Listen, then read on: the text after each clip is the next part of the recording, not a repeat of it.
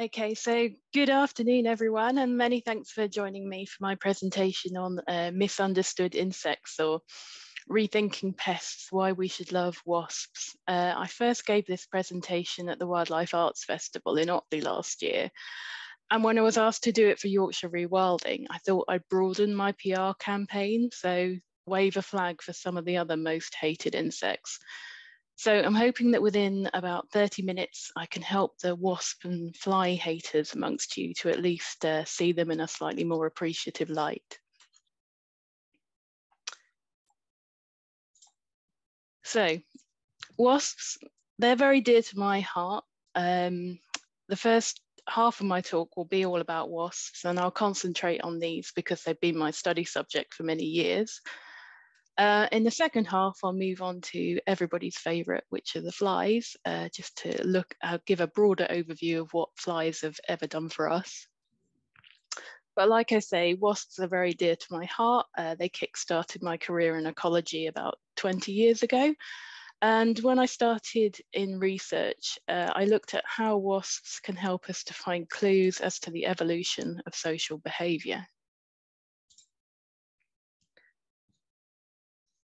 So in the animal kingdom, there aren't many that have evolved the heights of social living that the wasp bee, bees and ants have achieved. So first we're going to talk about what a wasp actually is, uh, the diversity of their forms and their behaviour, which will lead us on to looking at how amazing they are in terms of their looks, um, and for the more cynical amongst you, uh, a look at their economic value.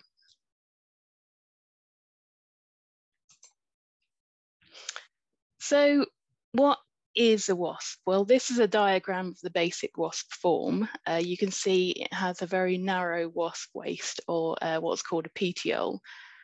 Bees and ants have uh, very similar forms, but we'll see that they're actually very closely related. So many bees could almost be described as hairy vegan wasps. So just to illustrate the public attitude towards wasps, whilst I was looking for this very useful diagram, I came across some similar ones, which are not exactly very family friendly. Uh, this is uh, an illustration of what you'll find if you look up wasps on the internet, which I think is very unfair. Um, yeah, they are not well liked. So let's move swiftly on. So wasps have been here for millions of years and they've evolved many forms and behaviours. Uh, during the time of the dinos dinosaurs in the Jurassic, there was an ancestral form of Hymenoptera.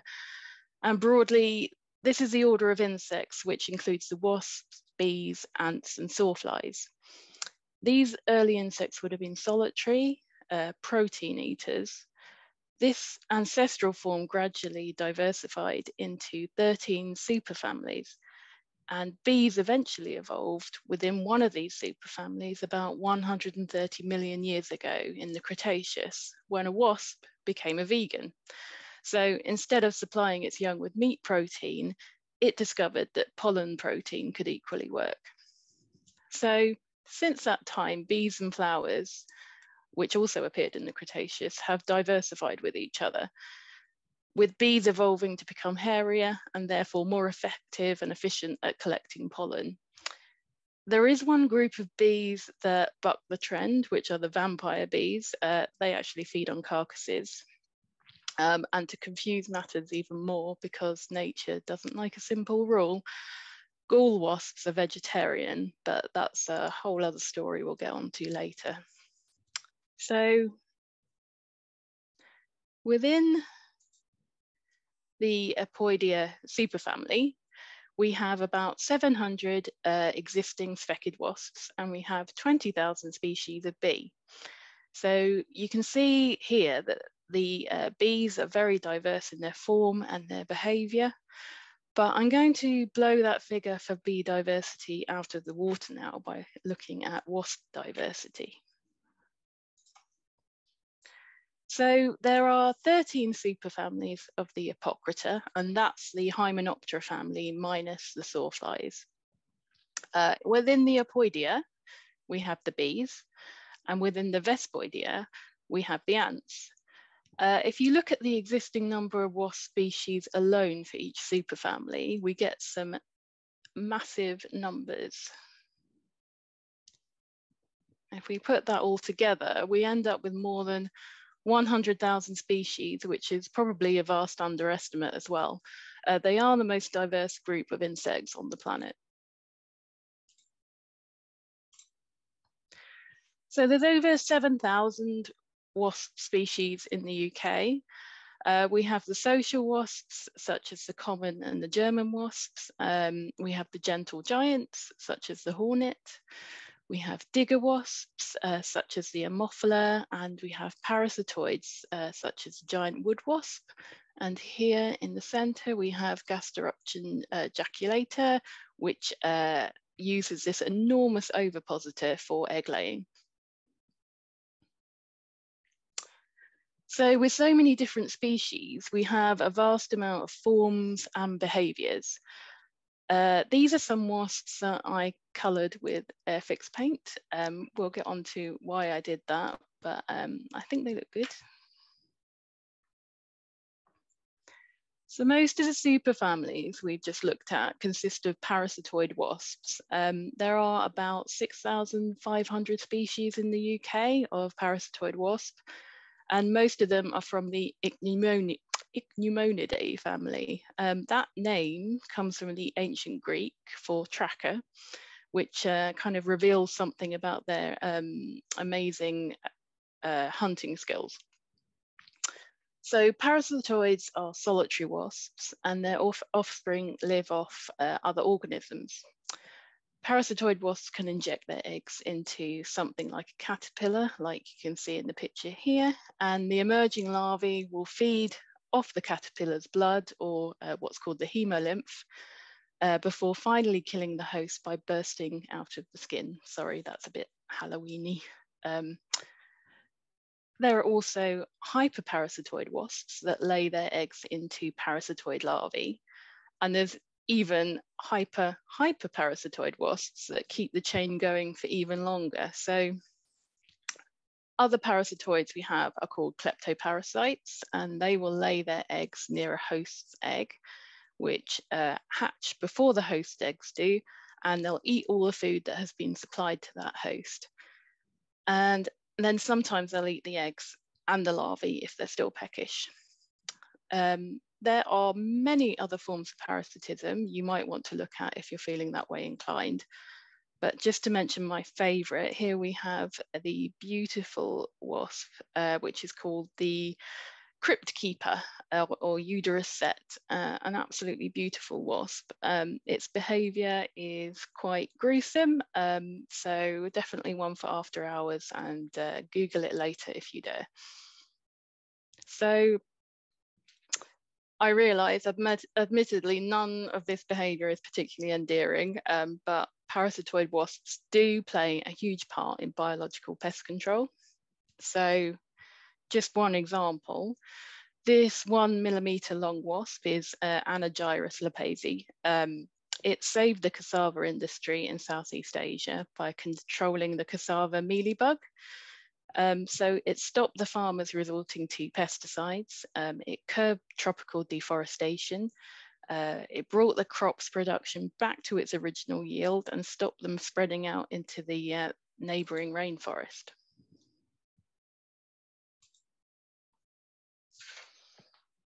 So hopefully this will work.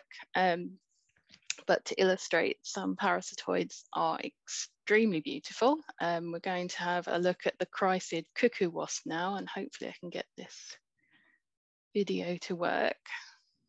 So chrysid cuckoo wasps, um, some of them are UK resident.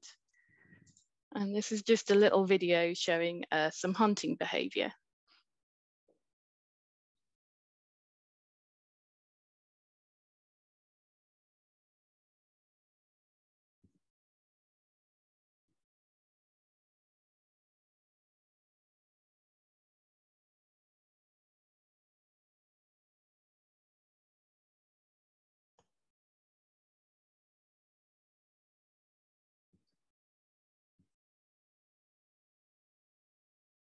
Okay, so now this is a hunting behavior. She's using her antennae to try and pick up the scent of her host.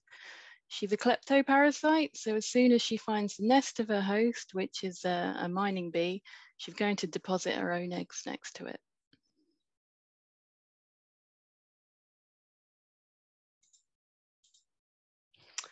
Other behaviours uh, come from digger wasps, which are solitary wasps that create a nest in the ground. Um, there's about 100, uh, over 100 species in the UK, and they provision their young with insects. Um, the picture here shows the ornate-tailed digger wasp. Um, this is Cerceris rybyensis, and she's taking a bee back to her nest. Uh, we have Ammophila pubescens here. Uh, she is often found on heathland and she's bringing back caterpillar prey. Um, and also we have not a UK species, but included because it's pretty amazing, is the tarantula hawk. And she's actually brought a tarantula back to her nest, which is pretty uh, good going. Gall wasps show another form of behavior. So um, this is one for the vegetarians. These tiny wasps lay their eggs in plants, which respond by forming these galls. Uh, there are 86 species of gall wasp in the UK. The wasp larvae actually live off the internal lining of that gall, and there are many forms, mostly uh, they are on oak. Uh, these are a great thing to look out for if you're on a woodland walk. And if you are particularly uh, keen to get into this, there is all, even a British plant gall society. So we've got oak apple galls here. Um, we have some knopper galls and uh, some spangle galls. They're all caused by different species um, and they usually have little impact on their host plant. So we've seen there are many types of behaviour that the solitary wasps display, but how did we get from to the large social wasp colonies that, um, that we're all familiar with today? When many of us think of wasps, we think of this large common wasp nest here. And this colony is founded by a queen and she lays eggs and they develop into um, female workers and males. So how did we eventually arrive at this system? I'm just going to give you a whistle stop tour of a huge body of research I was involved in. But basically, some of these wasps are facultatively eusocial. What does that mean? Well, this is the hairy-faced hover wasp, Liostenogaster flavolineata, a bit of a, a mouthful. The females of this species on the nest. They can all lay eggs, uh, but actually only one does, um, the queen, if you like. But in terms of these insects, we call her the foundress. Um, she's actually no physiologically different to the other females on the nest. They, they're all capable of laying eggs. Um, so she's no different to her sisters or her daughters. So why do any of the females actually stick around to help the foundress to rear her eggs and not just go and form their own nest. So there are a few reasons, not least because forming your own nest is actually very hard and it involves a lot of legwork and uh, to get that established. But one reason is because there is a special situation for the Hymenoptera, the bees, wasps and the ants in which they share more of their genes with their siblings than they do um, than we would with ours. So that's 75% of their genetic material compared with 50% because the situation is that the males arise from unfertilized eggs and therefore share uh, all of their genes with their mother. Um, so I won't get bogged down in the details, but actually helping to raise their siblings has more genetic benefits um, than for other non-hymenopterans. So in the case of this wasp, which is the hairy-faced hover wasp, um, there is actually the additional benefit of sticking around um, on the nest because the oldest on the nest eventually inherits the egg-laying dominant position. Finding out that the oldest on the nest inherits was a huge uh, body of research um, and it involved um, monitoring hundreds of wasps throughout their lives. And that's why each of these is given an individual mark um, because they are basically monitored so that the exact age of each of the wasps is known. Um, and so this involved monitoring each of the wasp nests in the dark um, when you can guarantee that all the wasps will be on the nest. So basically I lived in, pretty much lived in a tunnel for a couple of years. And this is what you can expect also in Malaysian tunnels. Um, I did have a lot of these friends to keep me company. This particular big scorpion there called Jamie. Um, I did go a little bit mad out there. So you can see I've had a close relationship with wasps for a while, and that's one reason why I love them.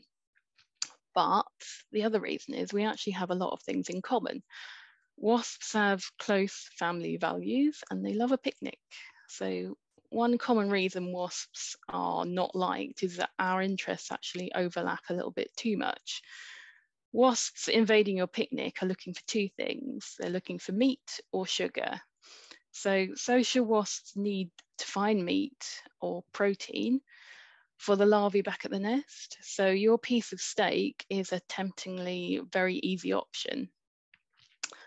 I'm often considered a bit mad, but at a picnic, I'll often put a, a small piece of meat aside uh, for the wasps, just to let them do their own thing and carve it out and take it back to the nest. I find that's quite harmonious, and I've never been stung by a British wasp. Um, so when returning with that food, uh, the young, so they return to the um, wasp nest with uh, their, this protein. The larvae excrete a sugary substance uh, for the workers in, as a reward. Uh, the problem arises when there are no more larvae at the nest, and that's so at the end of the lifespan of the nest. Workers then have to get a sugary fix from somewhere else and that's likely to be from rotting fruit or your ice cream or a bin. So my advice is don't hang around bins in late summer because you'll probably fall foul of some boozy wasps um, that have overdone it on like fermented sugars. So the wasps at your picnic are either being attentive, caring older sisters um, to the young back at the nest, or they're just um, just really hungry. Other reasons to love wasps, quite simply, they are beautiful.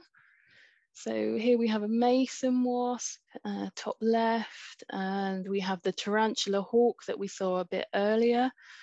Uh, bottom left, we have a tiny parasitic wasp, wasp which has a like, amazing, beautiful antennae.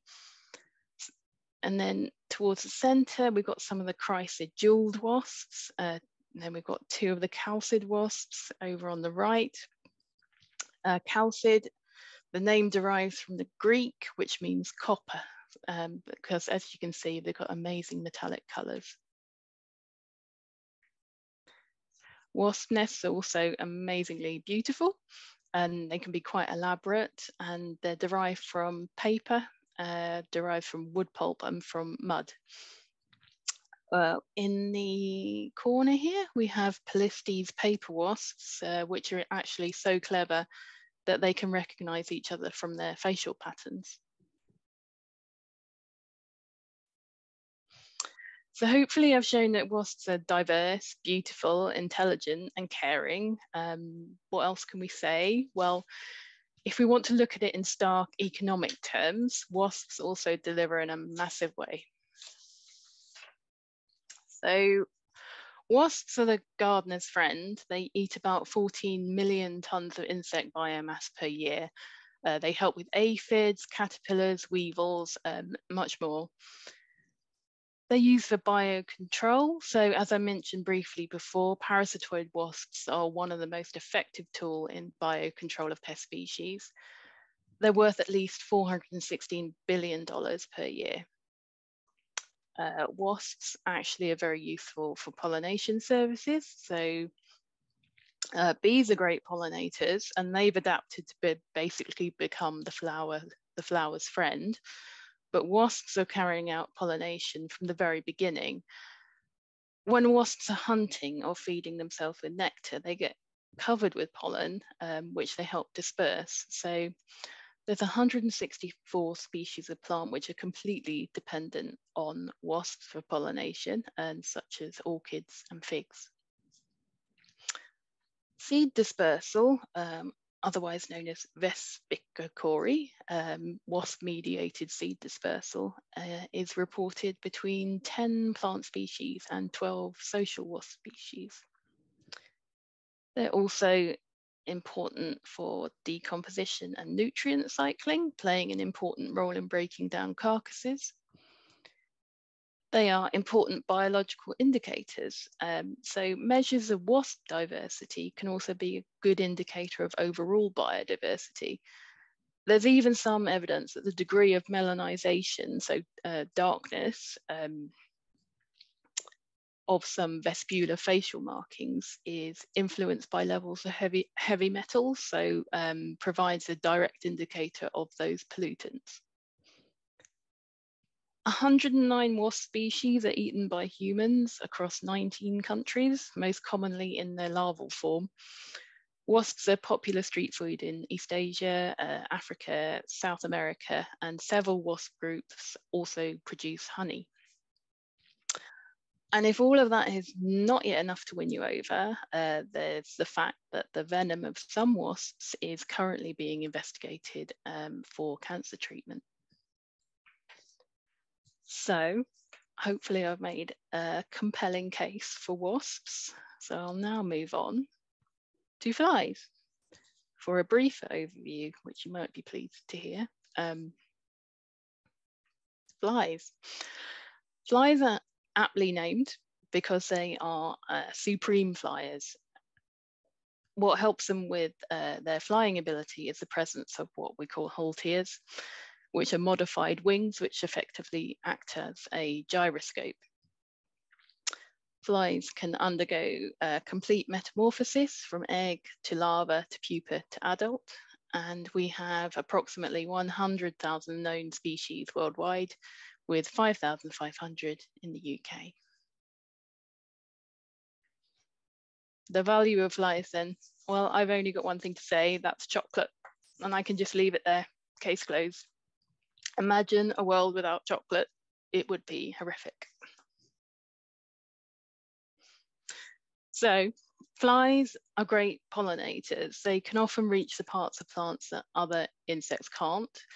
And that's why the cocoa tree relies on them so much. Um, it relies on tiny midges for pollination or Forcipomyia midges, which there's one such example on this slide on the bottom. They're maximum three millimeters long, and they're one of the only insects which can actually access the tiny flowers of the cocoa tree. But it's not just chocolate. It's mangoes, uh, chili pepper, black pepper, carrot, fennel, onion. They all are uh, rely heavily on fly pollination. So sorry for some gruesome photos, but decomposition. So imagine a world where nothing ever broke down. We'd have piles of rotten meat and vegetables, and nutrients would be locked up and unable to be released back to the environment. So for animal decomposition, we've all seen the first creatures to arrive at the wake are flies. Um, they help to break down corpses within a very short period of time. So without that, we'd be in a real mess. Plant decomposition, well, plant cell walls are really difficult to digest and they're not readily broken down. So flies are needed to release their nutrients back to the environment. And let's also not forget that our friends the cockroaches play a similarly important role there. There's also dung consumption. It's a beautiful photo. Uh, there are 30 fly families that contain animal waste consumers and 13 of these, uh, that's their main food source. So the famous French entomologist Jean-Henri Fabre, uh, he wrote, you think they are horrid, dirty insects, but they are not. They are busy making the world a cleaner place for you to live in. I think it's quite a nice statement. Animal feed then. So flies play their part as animal food. This here is the black soldier fly. Um, it is very popularly commercially bred now, which means that it's often referred to as BSF. They are very easy to breed. They develop quickly from egg to larva in just four days. And BSF factories have been set up worldwide. So alongside you, you might have your animal unit where you produce your animals. You might have your BSF factory set to the side of that and the BSF to, will consume the animal's waste and then the BSF maggots will pupate and you feed the pupa back to the animals. So it's quite a, a smart little system. Um, the use of BSF in animal feed just keeps on expanding and as a protein rich food source, um, it's going to be a really important player when we look towards sustainable global food demands. Pest control. So we've already covered what an important job wasps play in pest control and uh, flies contribute in a similar way. So one example is the control of the liver fluke, and this is a parasite of cattle. And it lives in its intermediate host, which is the freshwater snail Lymnaea ollula, and it was a particular problem in Hawaii in the 1960s. So what was needed was the help of a snail killing fly, and specifically the liver fluke snail predator fly, Sepedomerus macropus, which was from Central America and then introduced. But then they found that a two-pronged approach was needed because Sepedomerus was very good at doing its thing when the snail was in water. But when the water body dried up, another snail killer was needed. So the European species Pherbellia dorsata was then introduced. They actually did an incredibly successful job without impacting other native snail populations. And work is actually now being undertaken to investigate how snail killing flies might be used to control the grey garden slug.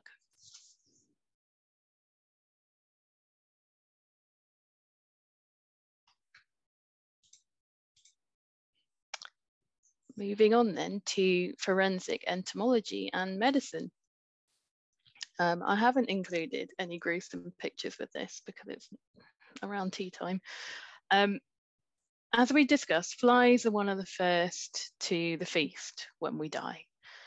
And the timeline of flies which arrive at a corpse is pretty reliable. So we have different species specializing in consumption of different parts of the body, and they um, are involved at different stages, different times in the stages of decomposition. So the species present and their position within the corpse can provide important clues to the time of death. With regards to medicine, for centuries, maggots have been used to clean wounds. Uh, the process uh, most commonly uses the common green bottle, which we have uh, just here, which is Lucilia sericata. And they will eat away at rotten necrotic wounds. Uh, fear not, the maggots will only eat away at the dead material, but you can actually get maggot bags. Um, so that keeps them contained within a bag, uh, but it's kind of mesh that allows their little jaws to poke through. Sorry if you're squeamish. Um, these maggots produce an, an antiseptic called allantoin, which uh, stimulates healing and with antibiotic resistance becoming such a, a serious problem, the medicinal properties of maggots are being seriously considered within medicinal research. So that's actually the last slide of my PR pitch for misunderstood insects. I hope you found my argument compelling and my case rests. Um, whilst uh, undeniably some insects can be pests, there are many that provide serious benefits, uh, even pest control So in a world of uncertainty with climate change, food demands, antibiotic resistance, uh, pollinator decline, we can't really afford to demonize uh, what are our allies in these particular insects. So that has been a very quick tour of the world of misunderstood insects, but if you'd like to know more, I can recommend these four excellent books. There we go. Catherine, thank you. It's it's often said we shouldn't just uh, concentrate on the big species like the beavers and bears and stuff in rewilding. You know, the small stuff matters. But I think I've never been anywhere near that level of understanding or depth in, in why that is and, and what it is. So thank you ever so much for that. Um, I'd invite people, remind them to put any questions in the Q&A, please. Got a couple here already, um, but please ask any others. Um, and we'll uh, we'll work our way through those. Um, so, Catherine, uh, pest control certainly, um, you know, a really relevant part of the of the benefit. Um,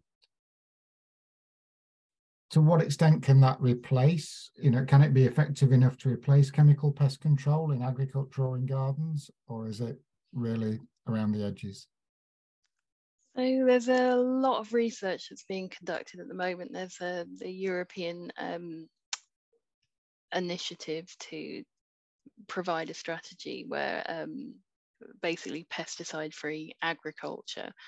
Um, so, I mean,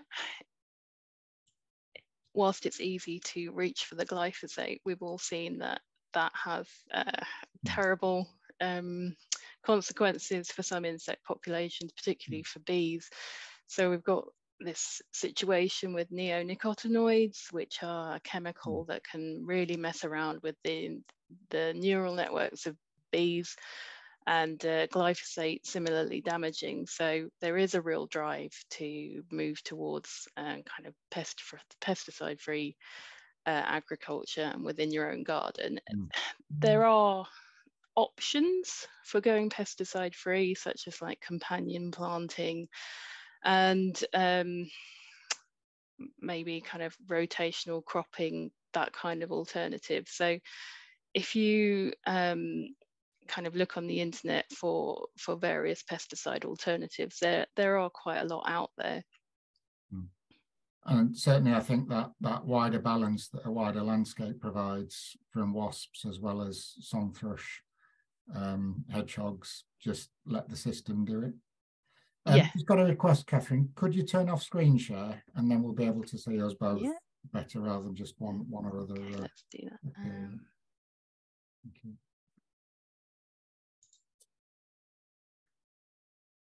Oh, that's I'm out of presentation mode, but still sharing.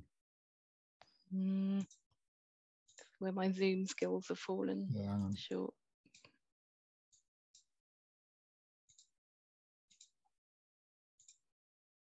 See if I can take it off you. Then there we go. That's yeah. Um, sorry, so back to the questions that have come in. Um, you mentioned about uh, generally wasps being meat eaters, but um, then bees having taken a vegan route.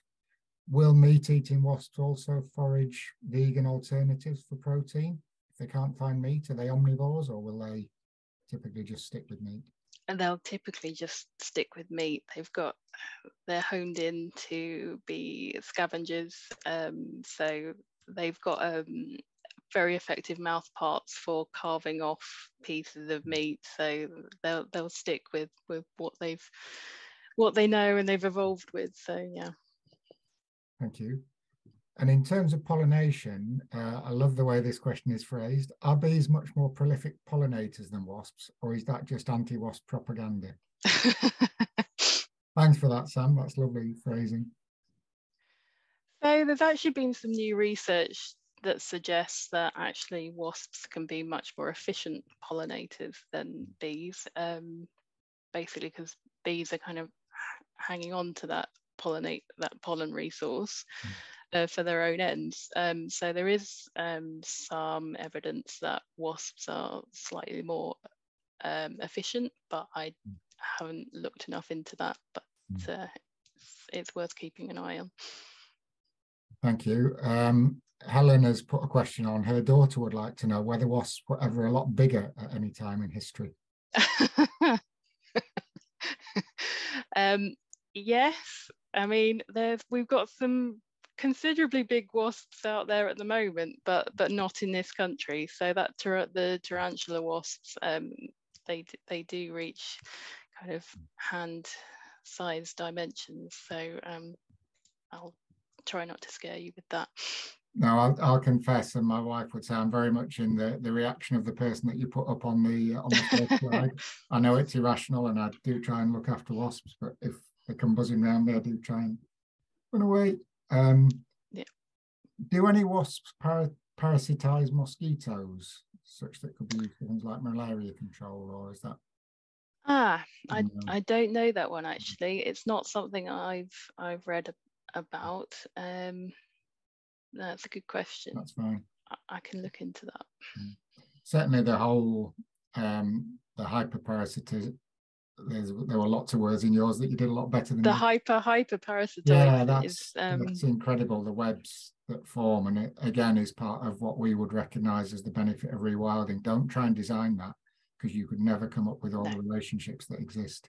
It's incredibly um, complex. Yeah. Yeah. Yeah. Um, are there any uh, wasp ant or bee species found only in Britain or even only in Yorkshire? Ah, oh, kind of endemic species. Mm. Not, not really. Mm. Um, I guess they travel quite well. Yeah, so climate change is is hmm. bringing in quite a lot of other species. So um, that's one to keep an eye on. I mean, in terms if you want a good diversity of wasps to look at, I, I suggest um, southeast England is um, a hotspot. But mm. yeah. That's why we go on holiday to Scotland then. uh, I recommend uh, Surrey is a, a real hotspot for um, wasps mm. and bees because I used yeah. to work in that area. Okay. Now we've uh, we've had the the benefit. Uh, I suppose a related question is their impact on wildlife other than people. So we have um, communal sparrow boxes on the house, where if one end gets a wasp nest in, as it has the last couple of years, the birds won't use the other two, or don't yeah. seem to.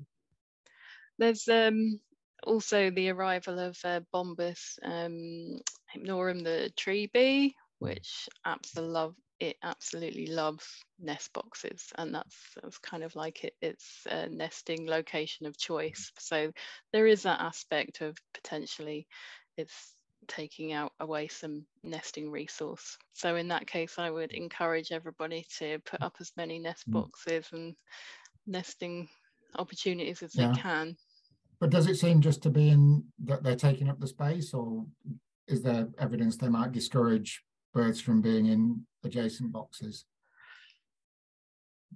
I'm not sure on that front. Hmm. Um, I don't know how comfortable they are with um, mm. quite a large colony of wasps being next mm. door. Mm. Very empirical at the moment. We we certainly hmm. seem to notice they don't uh, they don't stay next door. They might be. I wouldn't be surprised. Yeah, yeah. Um, I think that's it for the questions. Um, as I say, a, an amazing depth of knowledge that you have. Um, ridiculous dedication to spend a couple of years in a cave in I forget where you said Malaysia. Yeah, um, yeah. And and that shows through in the uh, in the knowledge that you demonstrated, and and really, as I say, given us much greater depth in uh, why we should love all these uh, small things, particularly the wasps, bees, and flies. Um, thank you, Catherine. Thanks to John for the intro. Um, as John mentioned, that uh, concludes our winter series of webinars for YRN. Uh, our next one is in mid-October uh, with Derek Gow, uh, author of um, Bringing Back the Beaver, and uh, I think probably finished writing now, but not yet published a book about looking for wolves, and also about birds, beasts, and bedlam, about his uh, farm down in the southwest. So look out for that. As John said, do sign up for our newsletter uh, you're very welcome to join our forum. All the details are on our website. Um, and we just look forward to uh, a wonderful summer of uh, events from our Rewilding Festival, mostly in June, but spread through the summer, as well as uh, a further series of site visits from small to large sites around the region. So do please keep engaged with us. We love to uh, collaborate with other relevant groups. We're doing that more and more. Um, as John mentioned, we'd really appreciate it if you can donate even a little bit. That really helps us both directly and when we apply for grants, that we can evidence the level of support we've got in numbers of donations, not just value. So um, that's really valuable to us, even if you can just give us a little bit. Um, but with that, I'll conclude. Wish you uh, a good rest of the evening and uh, hope you weren't put off your tea by the uh, the few slides that uh, Catherine, in a very restrained manner, showed us. And I'm, I'm sure there are some much more gruesome ones there, but uh, fascinating uh, insight into the worlds of wasps, bees, and flies. Thank you again. Thank you.